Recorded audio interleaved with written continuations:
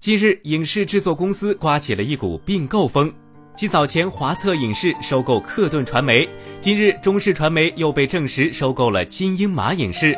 九月三日下午，华谊兄弟也召开新闻发布会，宣布以二点五二亿元收购张国立掌舵的浙江长生影视制作有限公司百分之七十的股权，从而进一步增强华谊电视剧板块的生产能力和核心竞争力。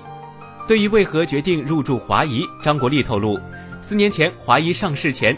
小刚和钟军就一直诚恳地跟我邀约，我这个人目光短浅，只会埋头耕地。现在华谊做得越来越好，是影视制作的龙头，而我还在埋头耕地。这么多年，其实我和华谊合作是最多的。最后，在冯小刚的极力撮合下，两家公司如愿达成收购协议。